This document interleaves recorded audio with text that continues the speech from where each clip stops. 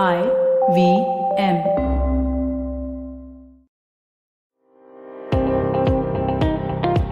Welcome to All Things Policy, a daily podcast supported by Pragati, a flagship media initiative of the Takshashila Institution.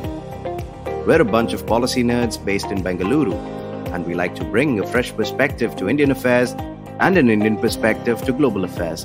So grab a cup of coffee, sit back, and join us for today's chat. Hello and welcome to All Things Policy. We've got a special episode for you out today, especially considering that Prateek is out sick. We've a star guest to make up for him. We've got Mr. Javeed Ahmed and we've got Sapni, our usual ATP podcaster on tech, and we're going to be talking about surveillance. It's something that we haven't talked about in a while. We've talked about a bunch of stuff like competition law, like privacy, like information disorder. But surveillance is somehow that subject that always seems to be something you want to talk about but are unable to. Thankfully, we've got two bona fide experts here with us to do exactly that. So let's sort of start off with a somewhat current peg. The New York Times recently came out with an investigation on Pegasus and the NSO group and their dealings with different countries. I thought it was extremely fascinating and and uses and sort of could use some more light, especially on this podcast. So, Sapni, why don't you take us to what the investigation was? Thanks, Rohan. Basically, the idea of Pegasus and how it has been working, that's been in the public domain for quite some time, though I think almost five years. But the way NSO group has functioned and how it's been more or less a bunch of complicated and it's been behind the clouds for the same amount of time. So I think sometime in the last week of January, New York Times did this uh, sort of investigative reporting on how NSO functions and what sort of dealings NSO has. And even particularly, the, they take a very uh, American point of view, of course, about how the dealings have happened between the American government, I mean, the American uh, administration, as well as how things have played out in that space. So they talk about how their functioning, or how the functioning of NSO's Pegasus and its deployment happens, and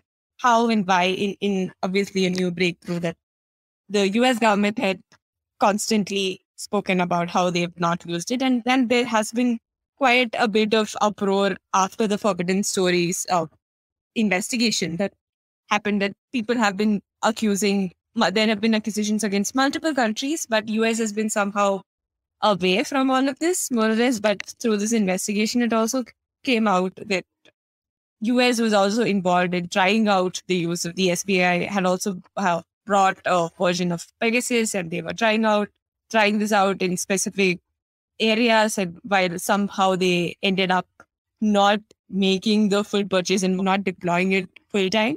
But that brings us to a very interesting point in time where we we've had at least throughout this time we've had multiple con we've also had conversations where we've mentioned how NSO was blacklisted by US and things like that have happened. So the the it presents a context that we were not privy to earlier.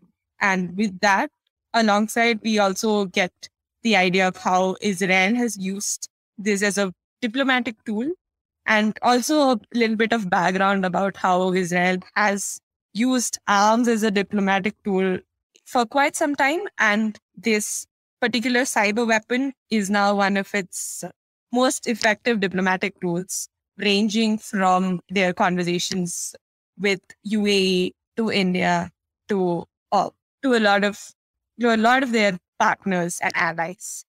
So that is broadly what the particular investigation gives us. And it also gives us a very poignant, I mean, very relevant for our interest is how Mr. Modi and Mr. Netanyahu met. And after that, there were conversations happening in the idea of India having access to Pegasus, and that somehow clarifies where in, in our current situation. So, where I'm, I'm sure our listeners are aware that the Supreme Court has a committee which is looking into the deployment of Pegasus. And while the government of India has not, has neither accepted nor denied the use of Pegasus, we have some word of, I mean, I think I wouldn't be jumping too much to saying if I say there is some sort of a compelling evidence, circumstantial evidence suggesting that the Indian government had bought it and is had, and if it has bought it, probably the government has also tried to deploy it.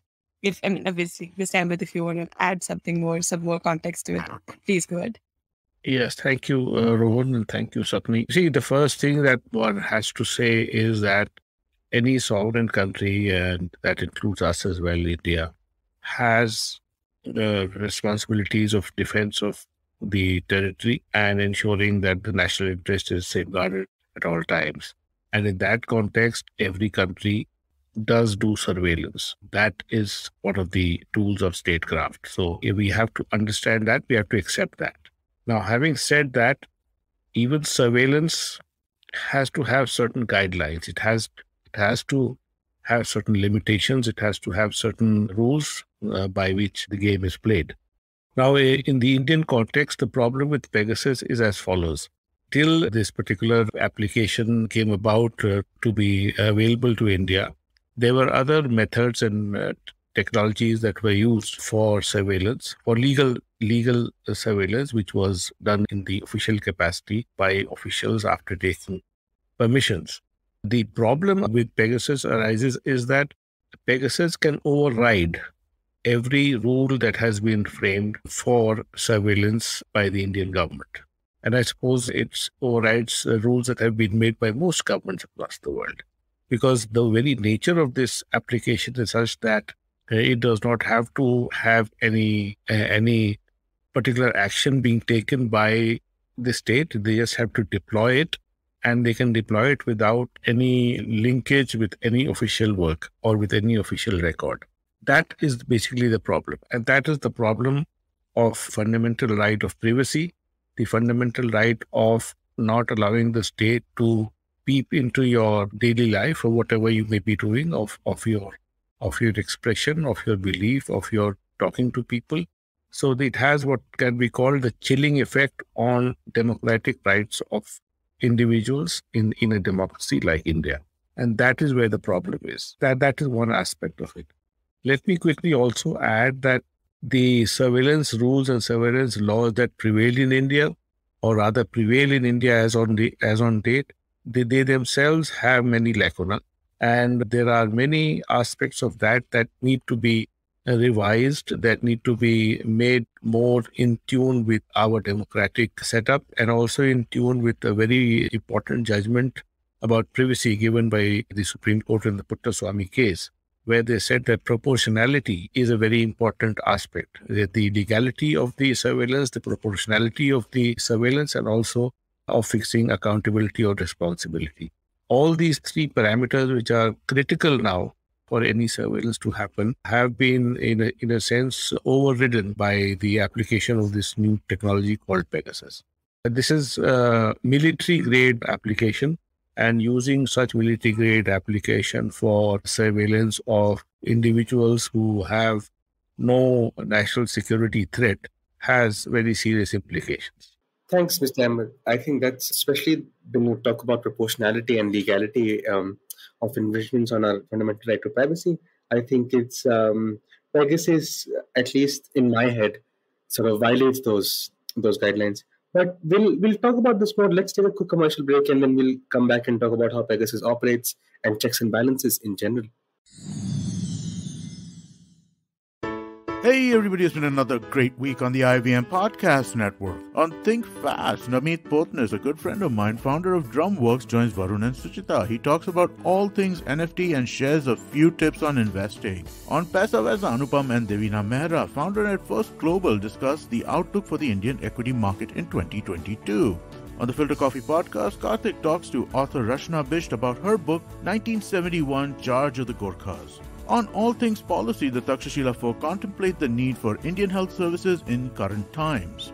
And on Say No to Drama, Chetna pulls down the curtain around nostalgia and teaches us how to live in the present. Do follow us on social media. We're IVM Podcast on Twitter, Facebook, Instagram, and LinkedIn. Also, please do tell a friend. It really does help us when you spread the word about our podcast. And I'd also like to ask you if you could rate or recommend wherever you listen to our podcast. And speaking of where you listen to this show, if you're on an Android phone, do check out our new Android app. We have a brand new app with a brand new listening experience. Definitely check it out. I think you will enjoy it. And finally, we'd like to thank our sponsors this week, Bank of Baroda and CoinSwitch Kuber. Thank you so much for making this possible. Hi, we're back talking about surveillance and Pegasus with Mr. Javeed Ahmed and Sapni. And before we sort of talk about checks and balances, which is eventually what I want to talk about, let me just sort of describe Pegasus to you. So, the version of Pegasus that we're sort of talking about was quote unquote zero click. So, unlike more common hacking software, it did not require users to click on a malicious attachment or a link. So, you basically couldn't you couldn't know that Pegasus was on your phone in a sense. And so let's say Americans monitoring phones uh, could not see evidence of an ongoing breach, for example.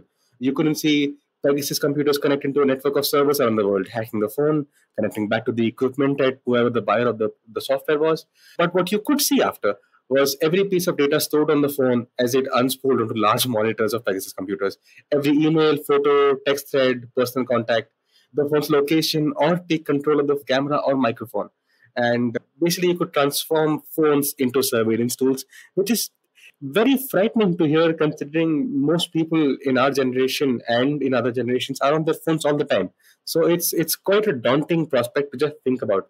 And so while, while I was going through this report, I a few things struck out at me. So Pegasus was used, uh, it, it played a critical role in securing the support of Arab nations in Israel's campaign against Iran, even negotiating the Abraham Accords, the 2020 diplomatic agreements that normalized relations between Israel and some of its longtime Arab adversaries.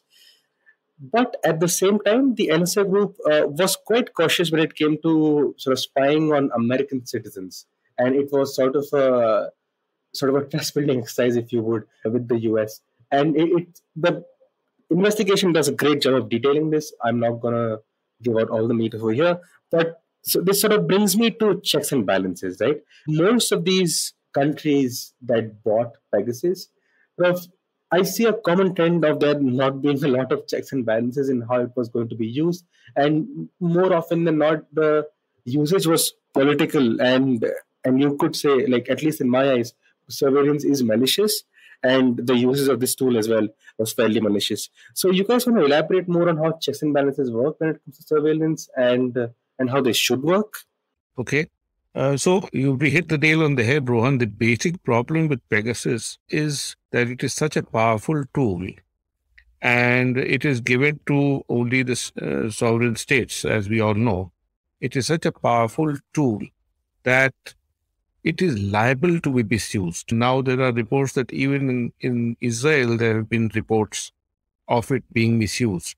The uh, Americans finally started taking notice of this tool only when they realized the potential and the huge potential of, of its misuse. Because you know, that old adage about uh, power corrupting and absolute power corrupting absolutely, this tool is so powerful that it has the potential to just uh, you know, can court the people in authority to misuse it. Now, in the case of Pegasus, what happens is that, as I said earlier, whatever rules have been framed and however, however inadequate they may be, you can just bypass them. So there will be no official record of who has been chosen for surveillance, why he has been chosen for surveillance, who has authorized it, how long will the surveillance happen. And then equally importantly, once you have that data, who's going to have a look at it? And once you've had a look at it and decided whether the, the, the concerned person is good or bad, do you, who destroys it? Who ensures that it is destroyed? Does it fall into some other new hands who then use use it for some other nefarious purpose or even to blackmail you for that matter? These are issues that uh, will come up when the official processes are bypassed, and that is what is happening. And that is what is, as I said, the most frightful thing about this. Sapni, would you like to add? I think I just uh, jump back into the checks and balances point, and rightly, as Mr. Javeed uh, pointed out, e- even within the system that we currently have, right? So we we go back to uh, the basics. The basics is obviously the right to privacy, and that's the the absolute, absolutely ignoring the existence of uh, any right to privacy, any any reasonable right to privacy is what happens with the deployment of a tool like this. So here we go back to the Indian, once we go back to the Indian situation, we do, as rightly as Mr. Ahmed pointed out, and you also, Robert, when you spoke about weak set of frameworks which have minimal effect in preventing anything like this.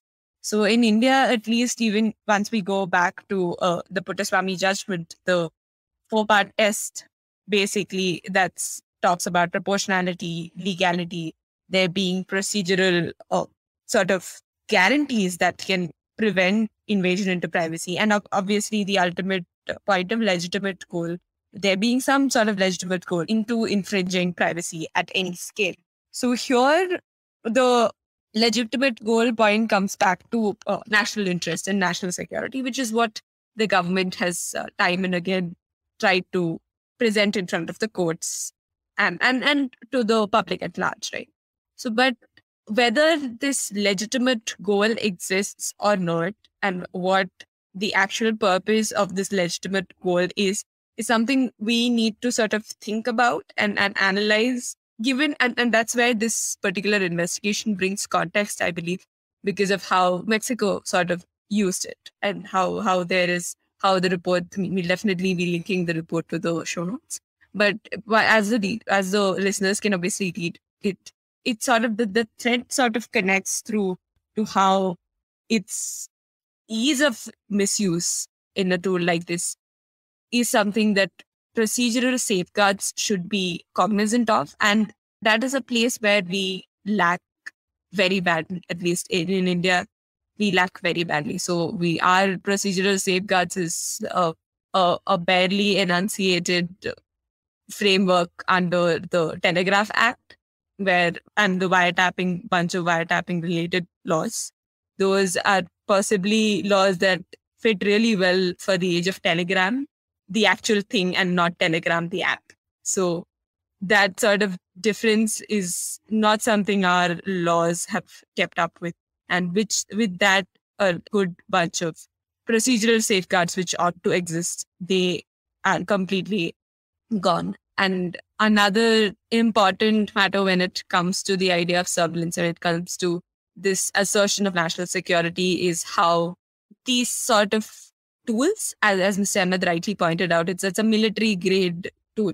So the, the use of these sort of tools should be regulated with some sort of a framework. But when it comes to India, again, we do not have any any framework that regulates our intelligence agencies. So if there is the FBA, FBI in the in the US, and they have a set of regulations, the equivalent here in our, in our country, the IB and the RAW, etc., they do not have any sort of legal framework within which they have to work. So that that lack of supervision, that lack of legal limitations on them is also something I, I identify as something that contributes to misuse, I think, at the, at this scale. So those are those are the hard questions that such an incident poses at us. That and those are questions which we should be thinking about and, and worried about because as Mr. Ahmed rightly started with talking about the chilling effect, right? So if this sort of a practice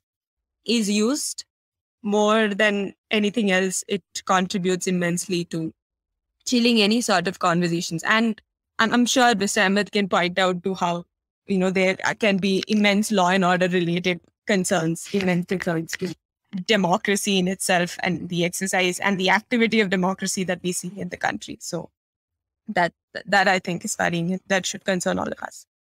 Thanks for that, Sapni. I really the importance of oversight, both parliamentary and judicial, sort of cannot be overstated, as it were. But I'm cognizant of the amount of time we have, and we don't have much. So before we end, do you guys have any concluding remarks that we should end with? Let me let me add by saying that Pegasus has only highlighted the very flimsy regulations that we have on surveillance. Pegasus is a very powerful tool, and through this expose and, and this controversy, it is time that the surveillance rules and the systems are made uh, are made more in tune with the democratic uh, uh, republic like India. Just to give you an example, the rules as they are today don't really distinguish between a law and order problem, for example, a kidnapping or a or a communal riot, and national security. The the kind of permissions that are required for a local law and order problem are the same. The same standards are there for a, a local problem, law and order problem, and a real terrorist threat, for example. Obviously, there is a need for the different categories of permissions, different categories of regulations for different levels of threat. And by putting them all together and by giving uh, access for uh, permission for surveillance to various, you know, dozens of dozens of organizations across the country, we have allowed uh, uh, surveillance to be done in, if I can call it call it so, in a very flippant manner, in a less than serious manner, uh, in a manner that probably would have been would have been uh, you know excusable uh, in a non-democratic setup. And also excusable because of the limitations of technology in the maybe 20 years ago when technology did not have this kind of power. But now with this kind of powerful technology it is time that things change and pegasus is a very timely reminder us to all of us to kind of put our uh, house in order so that democracy and everything that it implies is safe Thanks, Mr. Ahmed. That's profound, actually. Sapni, do you want to end with some concluding thoughts? I don't think I could have put it better than how Mr. Ahmed has talked about, you know, the implications on democracy and, and how we should put our house in order. And I mean, I'll, I'll just get back to the point that this brings out is how we should be aware and cognizant of the changes around us and our laws.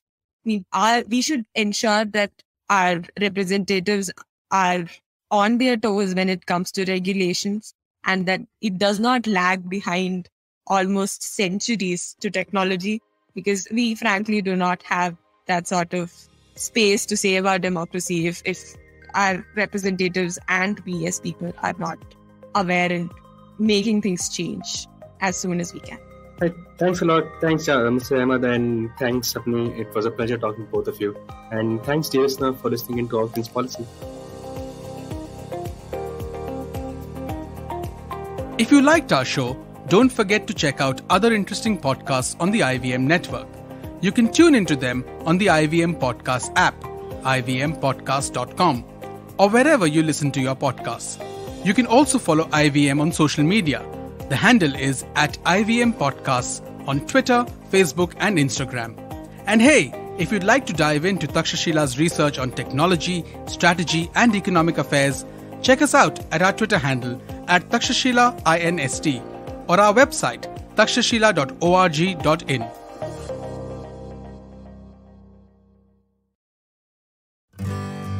Working Monday to Friday glued to your chair making you feel dull? Worry not. Get your 5 minute weekly dose of travel around the world with postcards from nowhere. Join me every Thursday as I explore the strange, obscure, and fascinating parts of the world and bring out facets of travel you may not have thought of before. You can find us on the IVM Podcast app, website, or wherever you get your podcast from. Don't you think that if everyone around you is getting smart, you better be smarter? Hey there, I'm the traveling professor Siddharth Deshmukh, and I'm back with season two of my podcast to make you smarter. Smarter with Sid. What's this season's focus about? Well, it's about 10 minute nuggets that will make you stand out at work. It's time to go from smart to smarter. Tune in every Tuesday and Thursday and become smarter with Sid.